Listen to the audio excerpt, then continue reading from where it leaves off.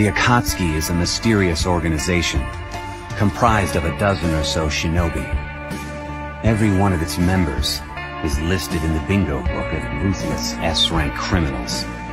Of those who have been identified, one is Itachi Uchiha of the village hidden in the leaves, a man who annihilated his own clan in a single night.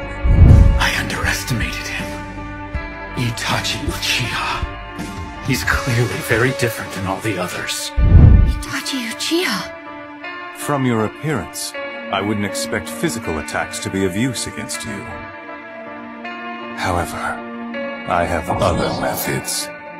The man who can burn even fire itself. You are a nuisance, as usual. This is the true bond between the brothers of Uchiha!